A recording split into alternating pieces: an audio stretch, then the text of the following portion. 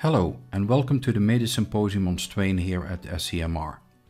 We have three exciting presentations for you, starting with Dr. Kan Hor from Nationwide Children's Hospital, Columbus, Ohio, who will speak on myocardial strain in RV, followed by Dr. Afshin Farzaneh Duke University School of Medicine, Durham, North Carolina, with LV feature tracking in cardiomyopathies, and then Professor Andreas Schuster from Göttingen University, Germany, with a talk on cardiac MR atrial strain.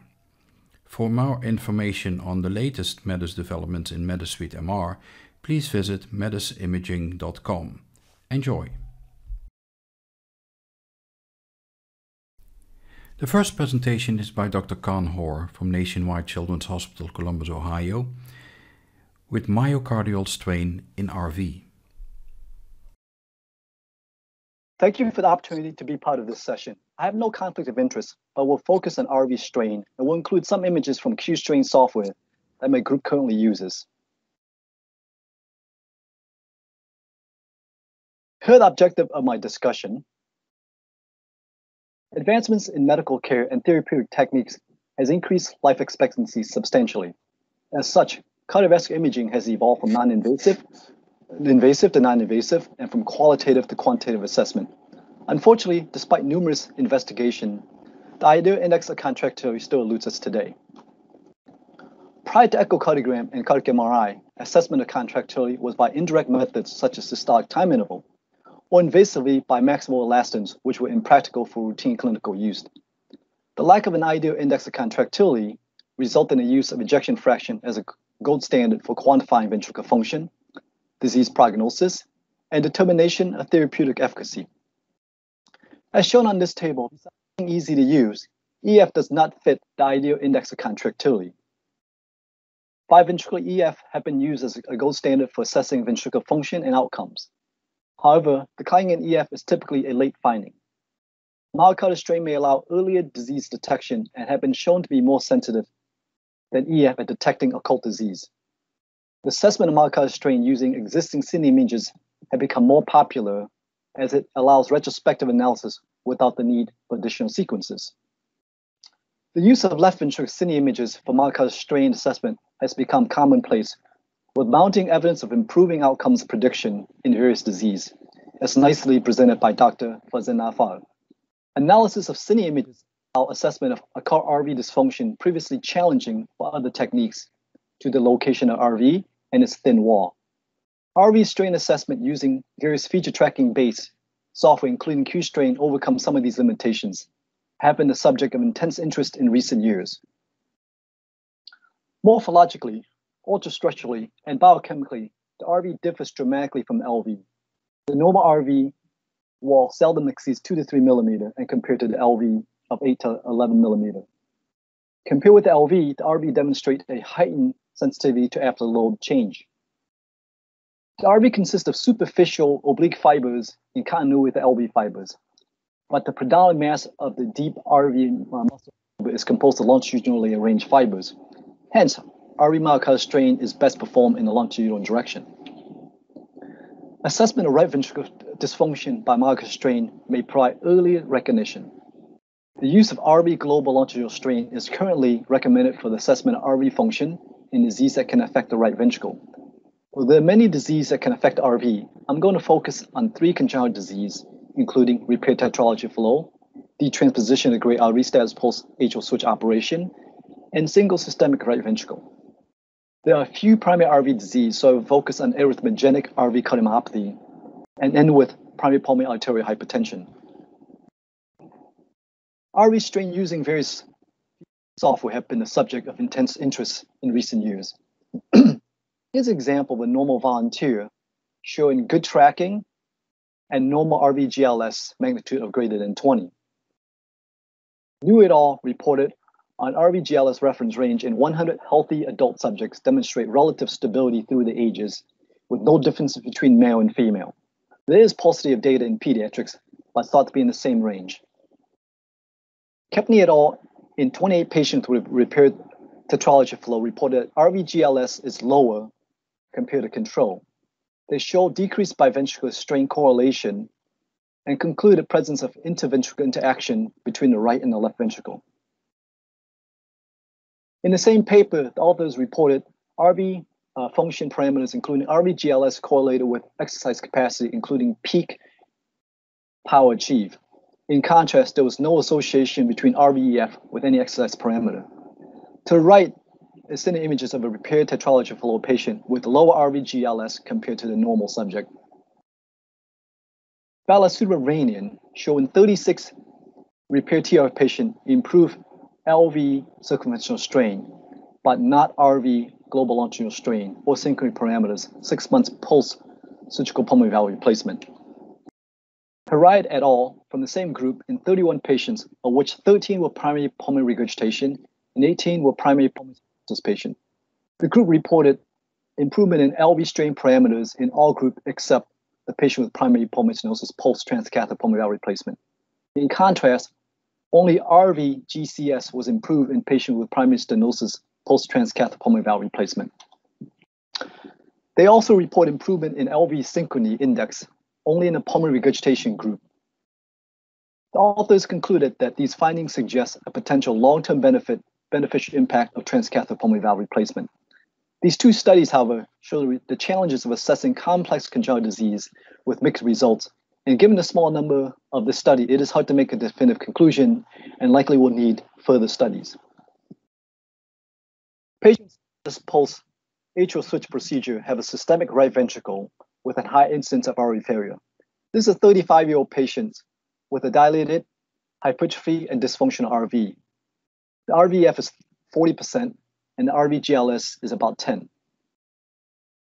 Salmon et al. reported in 27 patients status post atrial switch operation that there's lower RVGCS and RVGLS than the control population in this top table here. Interestingly, only RV-GCS correlated with RV ejection fraction, whereas RV-GLS was not able to differentiate between those with normal and abnormal RVEF. Patients with single ventricular hearts, and in particular those with hypoplastic left heart syndromes, have a systemic RV exposed to systemic pressure, resulting in risk of RV failure. This is a patient with hypoplastic left heart syndrome, status post-Fontan, palliation with an RVF of 38% and RVGLS magnitude about 11. May et al. reported lower myocardial strain in a small number of single ventricular patients, including six single right ventricular patients with lower combined ventricular GLS compared to control. The author also showed for patients with serial study, the combined ventricular GLS magnitude declined from 17.3 to 15.9 over a two-year period indicating progression of disease. ARVC involves predominantly the right ventricle with progressive loss of myocyte and fatty replacement, leading to RV, thinning of the RV wall, aneurysm, and resulting global and regional RV dysfunction. In this right panel here is a patient with ARVC with a dilated and hypertrophic right ventricle with an RVF of 35% lower RVG LS and significant dyssynchrony between the free wall and the green and the septum compared to the control. Preti et al. in 32 patients with ARVC reported lower RVG LS compared to control and RVOTA. Similar to our patient, they reported significant dyssynchrony between the RV free wall and the septum. To date, there is no link between myocardial strain and CV outcomes in ARVC, though the use of myocardial strain is relatively new compared to traditional RV parameters. Tallow report 38 patients with primary pulmonary arterial hypertension that RVGLS correlated with RVF, mean pulmonary arterial pressure, and pulmonary vascular resistance. In looking at strain and outcomes, Buss reported in 210 patients with dilated cardiomyopathy over a 5.3 year period and demonstrated add, added value of LV strain parameters to detect cardiovascular events.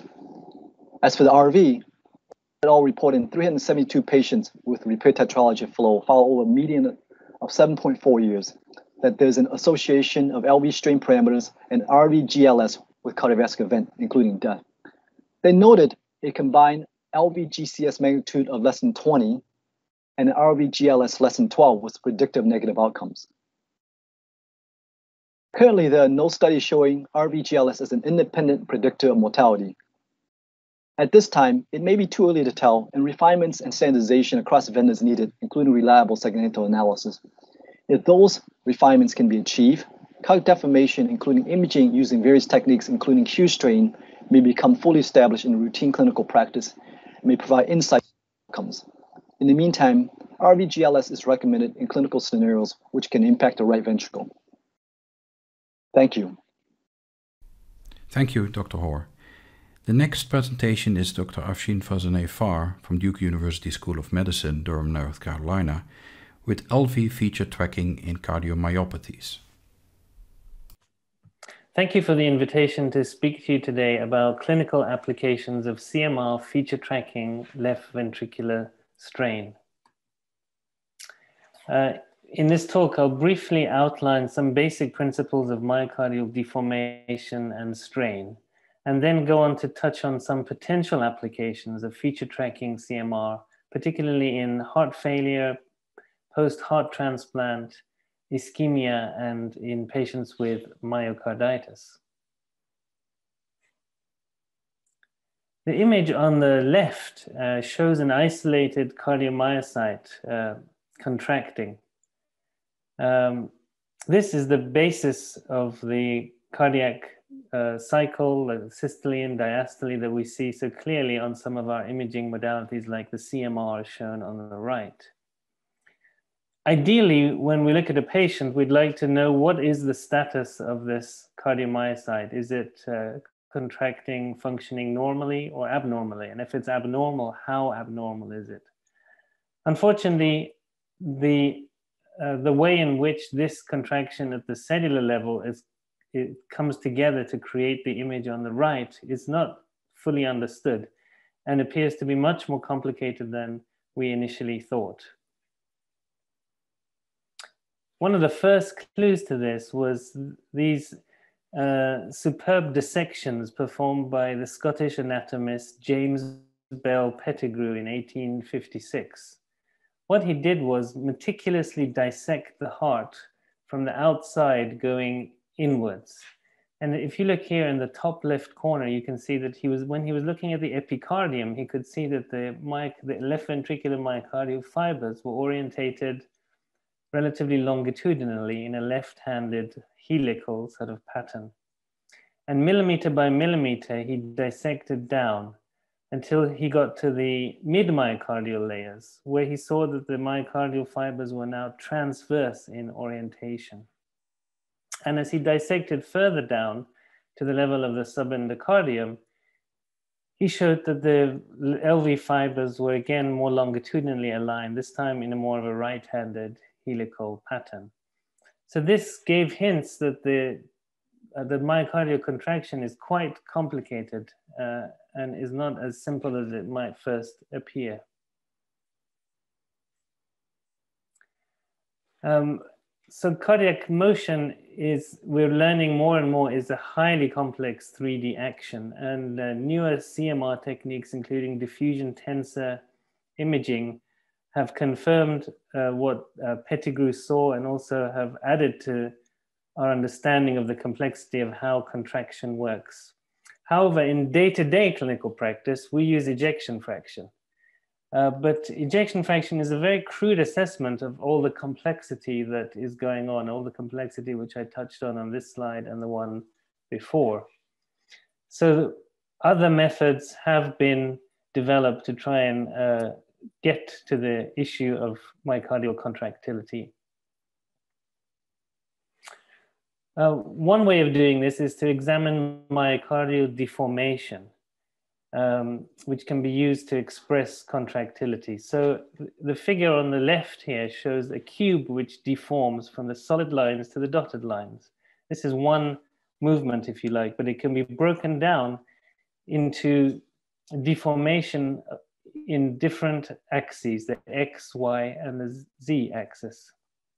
Similarly, with myocardial contraction, uh, from systole to diastole, the movement can be broken down into three spatial coordinates.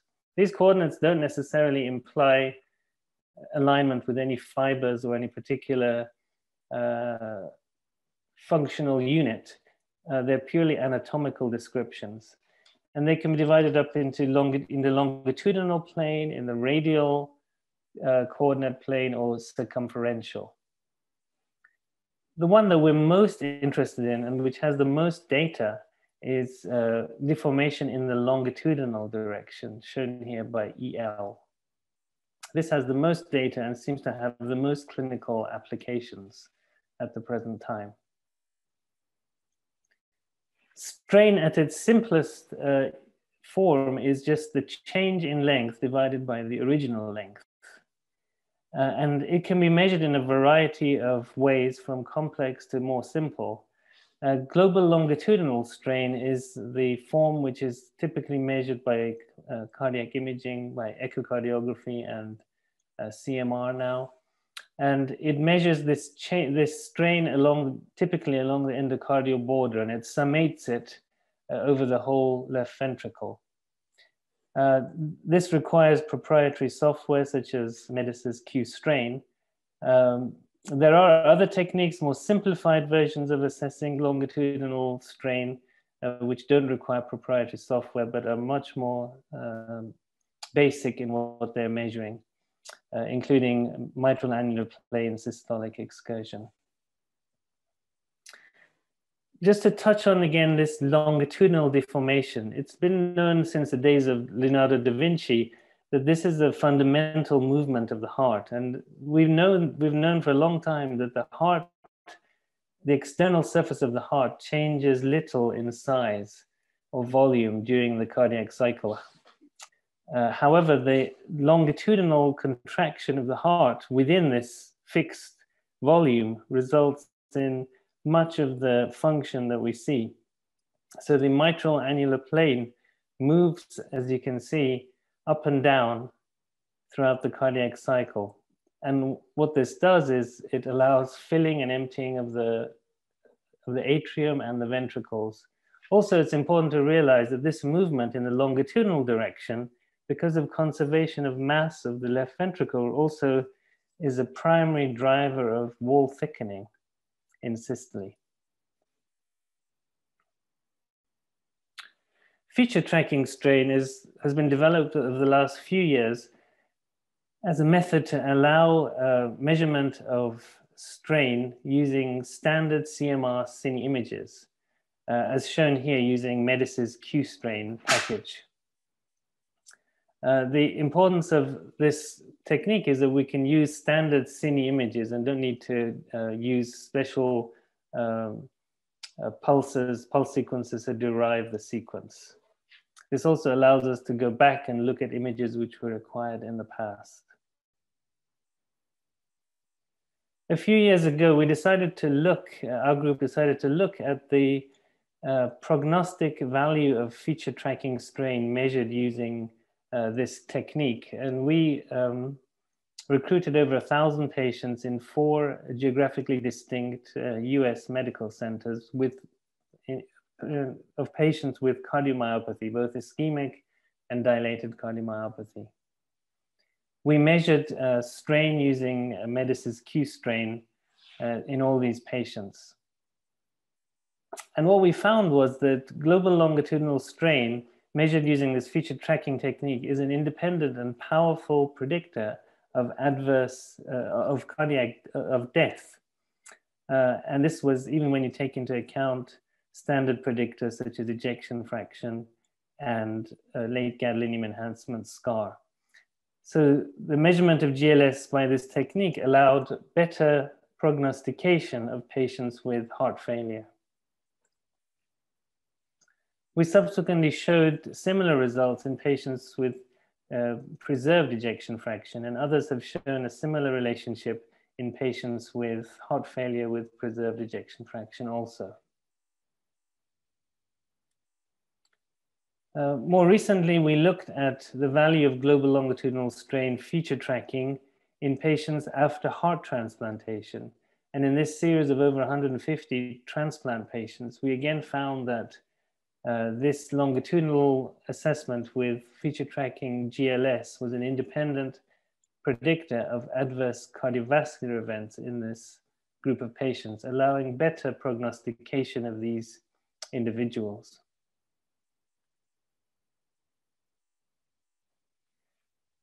Uh, interestingly, we also found that if you look at patients undergoing uh, stress perfusion imaging with CMR for ischemia assessment, that the change in um, the, the, improvement in GLS that you get uh, with a peak stress is also an independent predictor of events. Uh, and this is even the case when patients have normal uh, ischemia, have no ischemia and no late gadolinium enhancement. So it can allow uh, a more nuanced prognostication of patients with ischemia also. Uh, recently, Raymond Kwong and his colleagues at the Brigham looked at feature tracking myocardial strain uh, to see if it improves prognostication in myocarditis patients beyond traditional CMR imaging, which is the standard way of imaging patients with myocarditis. And in this series of just under 500 patients, they again showed that feature tracking GLS measured by uh, CMR is an independent and powerful predictor of adverse future outcomes. Uh, such that if a patient with myocarditis had preserved uh, global longitudinal strain with feature tracking and a normal ejection fraction, then their outcomes were extremely good, allowing a, a, a titration of um, how intensely these patients are monitored, for example. So in summary, uh, feature tracking GLS has been shown to improve prognostication in a range of cardiovascular diseases, including heart failure, post-heart transplant, patients undergoing ischemia assessment, and with myocarditis. Uh, further work, however, is required to show how this better ability to prognosticate uh, will translate into uh, patient uh, management. Uh, and, uh, you know, feature tracking CMR measurements have been FDA 510K approved now for certain vendors. So this is an exciting area to ex explore in going forward. Thank you very much. Thank you, Dr. Farzaneh-Far. The last presentation is by Professor Andreas Schuster from Göttingen University, Göttingen, Germany, on cardiac MR atrial strain. Dear Chairman, uh, ladies and gentlemen, thank you very much for giving me the opportunity um, to speak today about CMR LA strain. I've got nothing to disclose and I would like to start with an outline. So um, the talk will cover basic principles of atrial strain, explain what atrial strain is. It will uh, talk a little bit about um, how atrial strain is quantified, about the applications, and also about the implications. Where does it clinically make a difference? So what is atrial strain and how is it quantified? The underlying technology is um, tissue tracking or feature tracking, where you follow the tissue boundaries of the atrium and um, the myocardial um, blood, where you then can assess a deformation over the cardiac cycle from phase to phase where you um, come up by looking at 48 um, control points at a global deformation of the atrium, which allows you to calculate a global strain curve. You're not doing that only in one view, but in two views, in the four chamber and the two chamber view, and then you calculate a global strain curve. And also, if you look at the time derivative of strain, a strain rate curve. And by doing that, you can assess the three basic functions of atrial physiology. So what you do with your tracking algorithm, you start at the moment in time where the atrium is at its smallest size, which occurs at um, the end of ventricular diastole, where the atrium is completely sucked out. And then you start your tracking. And what you can see in the global curve here on the bottom left is um, that the atrium fills up. And this is the so-called reservoir phase And um, that means the capacity of the atrium to fill up with blood to take the pulmonary venous return. What happens next is that the mitral valve opens and you've got a passive ejection at early ventricular diastole. And this is called the conduit phase, a passive ejection of blood out of the left atrium. This is followed by the active component, the booster pump strain, or um, the active atrial strain, where you get augmentation of ventricular filling by an active contraction at late ventricular diastole. So how is this useful? How can it be applied to patients? Um, this is one of the early studies from um, Johannes Kowallick. It's a validation study from 2014, um, where he looked at atrial strain of uh, patients with heart failure and preserved ejection fraction, um, hypertrophic cardiomyopathy patients, and controlled subjects. And what he found was that um, the reservoir and the conduit function, they were in comparison to healthy controls impaired in HCM patients and HFpEF patients. What he furthermore um, described was that the active atrial strain was impaired in the HFpEF patients, but was relatively increased in HCM patients as compared to the control subject subjects, which suggests a compensatory mechanism of that active atrial function in HCM patients.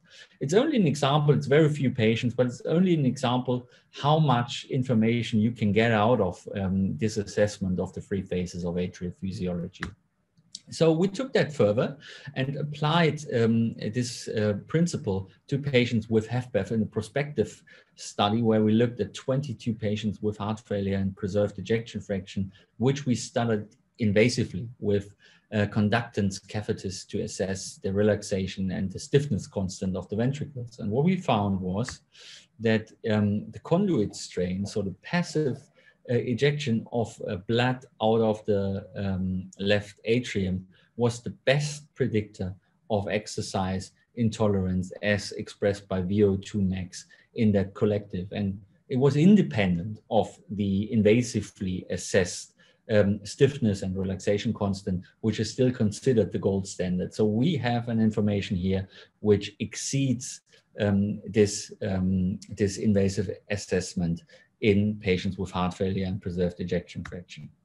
What are the implications of um, this information um, you can derive? And this is um, also from 2014, the same year as the Kowallick study, a sub-study from João Lima and this group in the MESA cohort. And what they've done is they come up with um, modeling of heart failure um, occurrence in the future. And um, they developed uh, four basic models.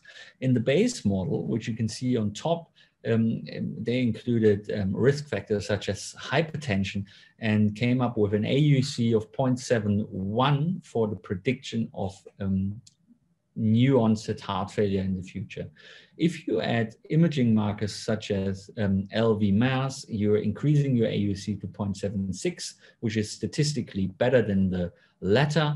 And if you, um, on top of that, include um, a laboratory testing, so um, a biomarker brain natriuretic peptide, then you're further increasing your AUC. You're getting more accurate to predict heart failure, which again was statistically significantly better. And um, I think the major point here in this paper is if you then on top of that at the atrial strain on that uh, clinical information, which is already quite solid, then you are further increasing your area under the curve to 0.86. And again, this is statistically better than um, just the free uh, models um, for um, themselves. And this, this shows you that there's very strong implications. So very, very uh, solid information in that atrial strain assessment. This is also true in Takotsubo's. Um, this is a multi-center study in uh, 152 Takotsubo patients, which were studied three days after their emergency admission. And they were followed up for 3.4 years in terms of um, cardiovascular outcome. And what we saw was that the um, initially impaired um, strain in the, in the atria recovered over time. And um, if you then look at parameters that are predictive of outcome, we were able to identify the total left atrial strain as a factor which is related to outcome in Takotsubo patients. And looking at the um, at the Kaplan-Meier plots here, you can see the um, the total strain. We are able to identify patients at relatively high risk for events by an impaired um, left atrial total strain as compared to a relatively low risk group um, where the strain is preserved. And this also holds true in the subgroup of patients with a reduced ejection fraction. So if your ejection fraction is reduced, this is generally bad in Takotsubos. But if your um, total strain is preserved, then this sorts of even evens out and um, the uh, prognosis is not that bad after all. But if uh, your ejection fraction and your total strain is impaired, then we're seeing many more events in Takotsubo patients.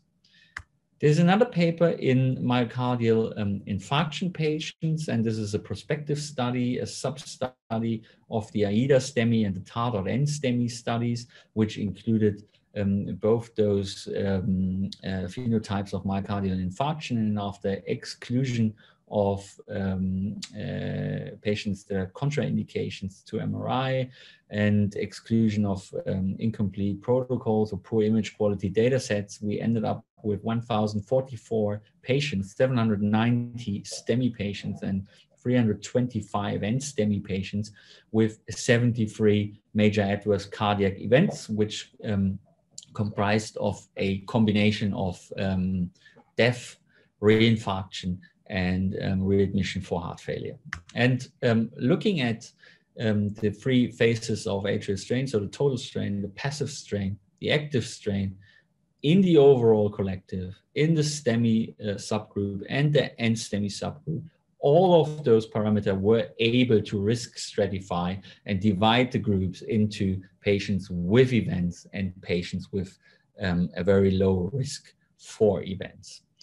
And um, looking at the um, at the study group in terms of other uh, parameters, uh, risk factors, and so forth um, for events in the future, then we identified um, a lot of uh, factors that were associated with outcome but only age, um, global longitudinal ventricular strain, and Killip class were independently associated with outcome. And on top of that, um, the left atrial reservoir or total strain was independently associated with outcome in STEMI patients. And to further underpin that or underscore it, um, looking at patients with an impaired ejection fraction below 35% and preserved, relatively preserved ejection fraction above 35%, then applying the total strain, you can still divide um, those two groups into patients at very high risk and at lower risk. And importantly, this is possible in patients with an ejection fraction above 35%, where we usually usually are not that aggressive with heart failure medication or device therapy. Um, looking at atrial strain, we can identify in this large cohort of patients, because this is the majority of STEMI patients or, or NSTEMI patients, we are able to identify a high risk group in this, um, well, if, if, if you like to call it that way, relatively uh, low risk group. So um, looking at other information, which are or which were repeatedly shown to be much stronger than ejection fraction, so infarct size, microvascular obstruction, and global longitudinal LV strain, um, looking at the total left atrial strain in a high-risk group where the um, infarct size is high, microvascular obstruction is large, and global longitudinal strain is impaired. In all those groups, looking at the left atrial total strain, we were able to identify patients at higher risks, and this is statistically significant in log-rank te uh, testing. Furthermore, in the little damage or impairment group, so when the infarct size is small, still by looking at the left atrial strain, you can identify patients at higher risk. The same is true in relatively uh, little microvascular obstruction, and the same is true in preserved global longitudinal ventricular strain. So the left atrium adds something on top in risk stratification after acute MI. So I would like to conclude that um, it allows us, the CMR uh, feature or tissue tracking, to assess strain very accurately in all cardiac chambers, including the left atrium. And by doing so, we can um, derive detailed information about atrial physiology, which, um, which comprises reservoir, conduit, and booster pump function. So a detailed look at the pathophysiology. And this information, if we assess it, um, has very strong prognostic implications. And um, these implications or, or this information exceeds the value of the classical uh, clinical or imaging risk stratification um, we are mostly doing in clinical routine at the moment. So um, it has an additional value and therefore where we can, we should assess it. Thank you very much for your attention. Thank you, Professor Schuster. And thank you to all the speakers here for their great presentations in the Medis Symposium on strain here at SCMR. For more information on the latest MEDIS developments in Medis Suite MR, please visit medisimaging.com.